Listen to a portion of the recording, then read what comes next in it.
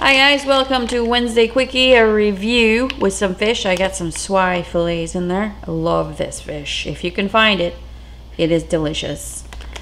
House Autry Southern Style Shrimp and Fish Fry Mix. All it says is to get the fish uh, wet, shake off the excess moisture, and uh, cook the shrimp or seafood with the breading. Oh yeah, so this is the Batter Pro. Okay, if you guys have never seen this, I know y'all have seen it, my subscribers. A lot of you have purchased it and you love it, so it's the best thing in the world to me. It's three pieces, it's got the strainer, two of these pieces, and you just shake it back and forth and it coats the food without any clumpiness or stickiness or... I got this at Walmart. It was like a buck something, I can't even tell you. Oops, actually I was gonna do this. Doesn't matter. Actually, I, let me do it this way so I know how much I need. That looks about right. Probably half the bag. I'm making fish tacos, so nothing serious. I'm not going to zhuzh it up or nothing. I've got a coleslaw that I've already made and a nice sauce, adobe, ch uh, chipotle peppers at adobe. Is it adobe? Adobo. We've been searching cameras all day.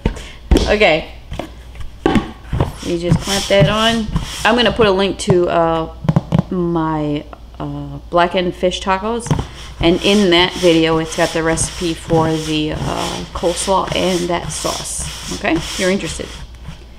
Shake it back and forth.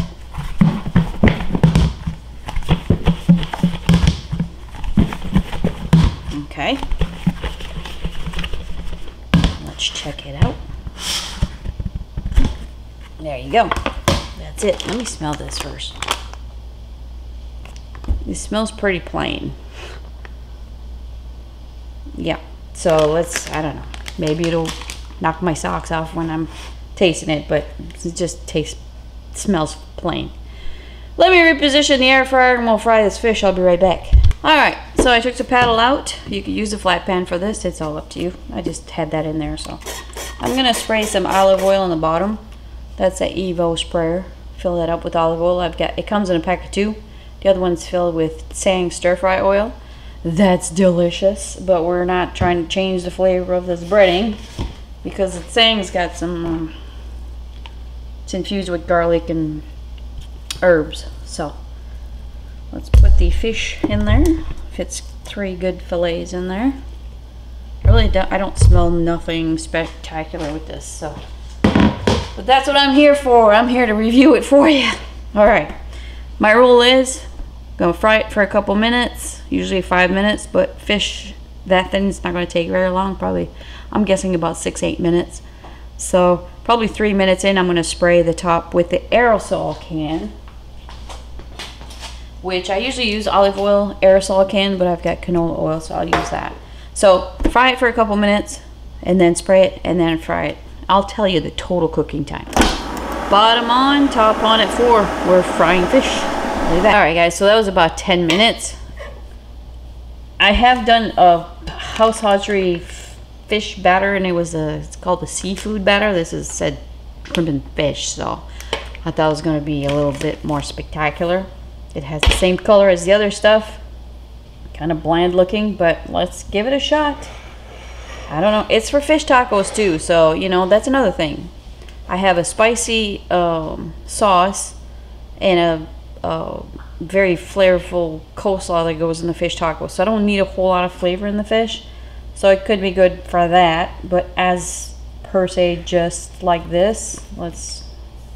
I don't know. Oh, if you want to see the bottom, this is what my air fryer does. Cooks the bottom as well, so there's no flipping. All right. Yeah, that's what I thought. It's not bad, but it's not like Joel's Gourmet fish fry by far is the best so far. I've tried quite a few of these fish fries.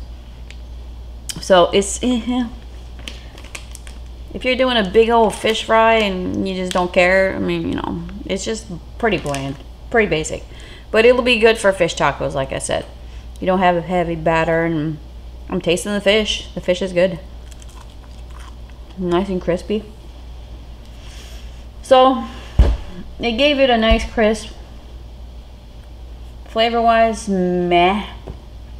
So I'm gonna say, hmm. I'm just gonna say a four. I mean, it's just plain, plain and simple.